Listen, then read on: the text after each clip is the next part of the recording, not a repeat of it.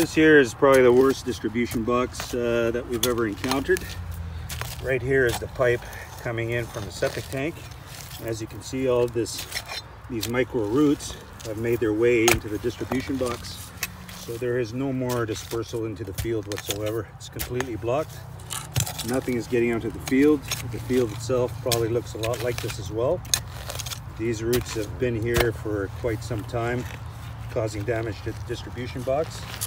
As you can see, the graying area right there, that's the edge of the D box. And that is completely disintegrated into just sands now. There's no more concrete left. As you can see, it's totally blocked. I'll get it lifted now.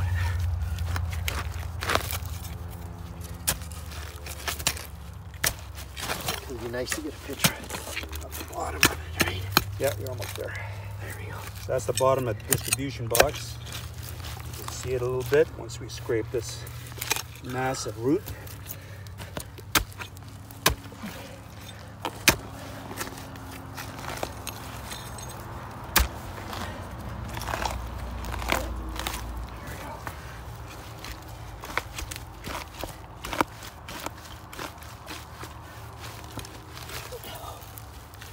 Because the distribution box is totally disintegrated, this effluent is just making its way into the soil. It's not even distributing into the field whatsoever.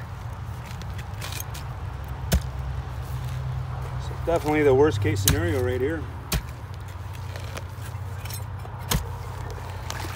There we go. That's all the water rushing from the uh, from the pipe right now that's blocked. So here's the massive root structure that we just pulled out of the distribution box. And as you can see, going up the pipe here, it's totally blocked. Now this pipe is actually supposed to enter a concrete box. And as you can see, there's no more concrete. It's completely disintegrated. That's the outside edge of the distribution box. So right here is the dissolved concrete. So that just tells us that it's very important to leave, you see how deep it is? It's very important to leave your distribution box with enough air circulation so the cover has to be up on the surface to allow air circulation in here. Otherwise the gases from the from the septic tank and from the effluent traveling into the distribution box stay through here and it starts to disintegrate the concrete. So that that's our that's our issue here today. Basically, there's nothing holding this effluent back. There's nothing uh, seeping into the field. It's all root structure. It's all failed here. So this is probably one of the worst case scenarios of a distribution box that we've seen. So we're on location at another job site here where we've got a lot of uh, runoff from the septic. As you can see, we've got a lot of slimy areas here. So this drenched field area is completely saturated. So that means one end of the field is not functioning properly. So we're gonna go up towards the tank area. As you can see, this is a very challenging site. Multiple tiers on a big slope. So here you see the, the tank up above, piping down below. If you follow it closely, we've ex excavated the distribution box. So if we can see this, everything's completely plugged right up again. So again, this is causing a short circuit. So it's running from the septic tank and it's going down basically just those two lateral sections. Those two there, as you can see, are totally caked. These two here, nothing is going down those laterals anymore. And this waterway is making a short-circuited path directly to those two. And that's why we see that effluent down below in the field. So we're gonna correct this real quick, clean it up, and uh, we'll have water flow to the rest of the laterals, get this field back in shape.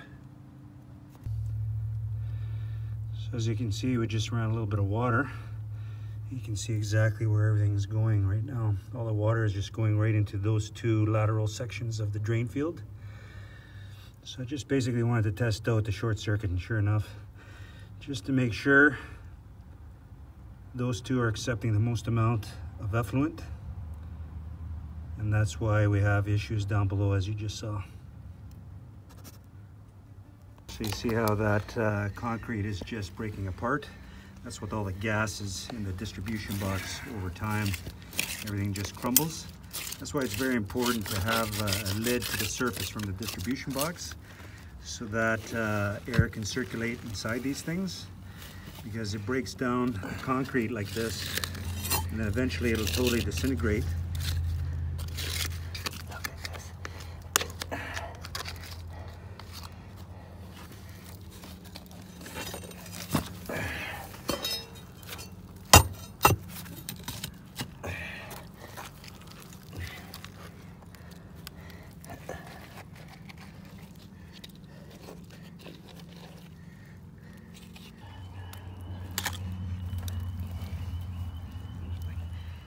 Here.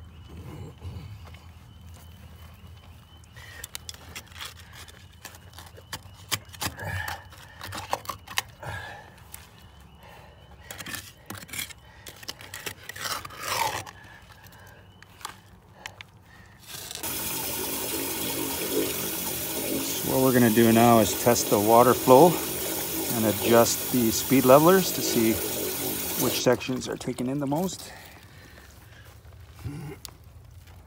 Yeah, so we need to adjust that far end a little higher.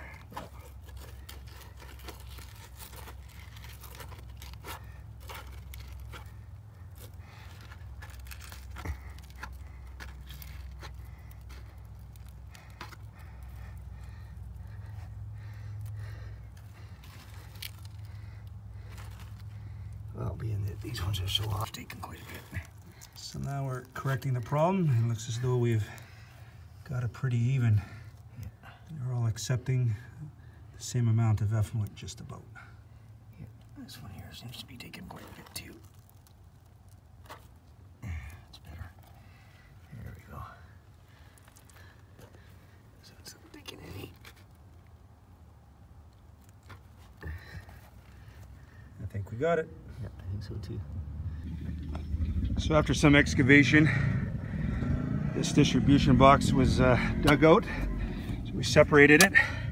You can see the flow. There's a lot, a lot of solid buildup in here. It's pretty nasty.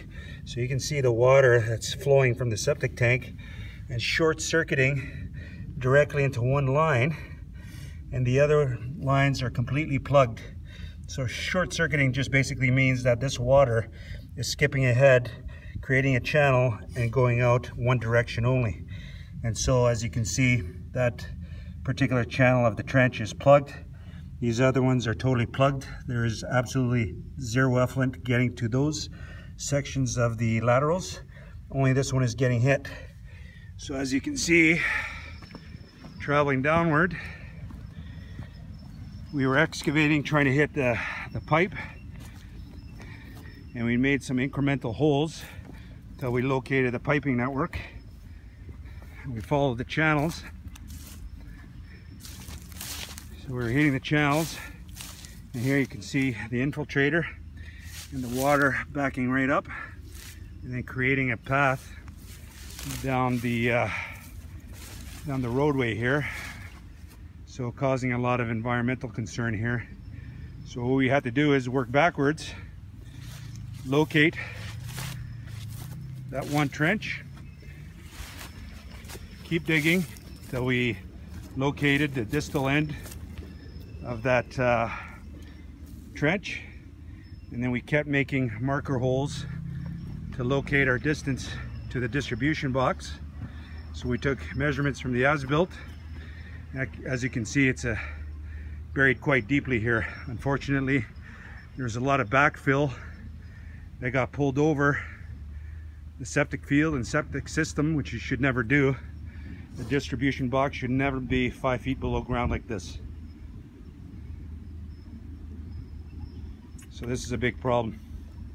And we've got uh, some infiltrator chambers leading right out of it. As you can see, those two channels are supposed to receive effluent, but it's going right into the bank.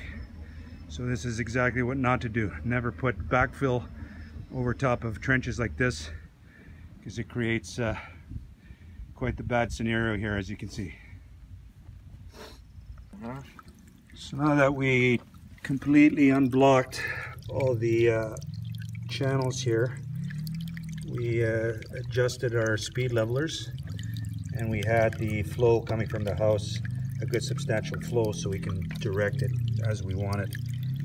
So this area here was receiving the most, it was getting short-circuited. So now we have it directed so it's receiving the least amount of effluent to help in its recovery. And then uh, this one here, this one here, and this one here, which hasn't seen any flow in probably well over a year, is now going to be uh, receiving the majority of the effluent.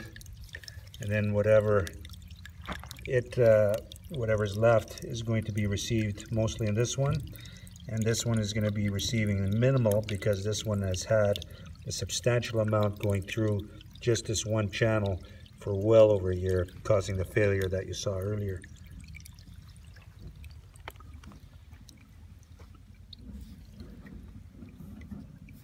So the problem with these distribution boxes sometimes is that ha we have to be very aware that any micro shift, whether it be a couple of millimeters here or there, and in the field, whether there's a little bit of a shift in the piping, a millimeter can really affect the amount of flow going into each channel. So we want to make sure that the maintenance provider checks your distribution box while he's pumping out at the very minimum. So at the very minimum, this needs to be checked every couple of years just to be sure that these speed levelers are working properly and that each section of the trench is receiving the same amount of flow. So now as we make our way down from the distribution box, we're going to just check out our trench overflow again. As we can see, there's no more water trickle. The water stopped trickling and is now settling. And now this wastewater is going to be absorbed into the soil. Now our next order of business is we need to contain this. So we have to bring a little bit of sand over top of this to ensure that it doesn't continue to run down the bank. So now that we've stopped this flow, we certainly want to put some uh, topsoil over top of this just to ensure that this stays safe.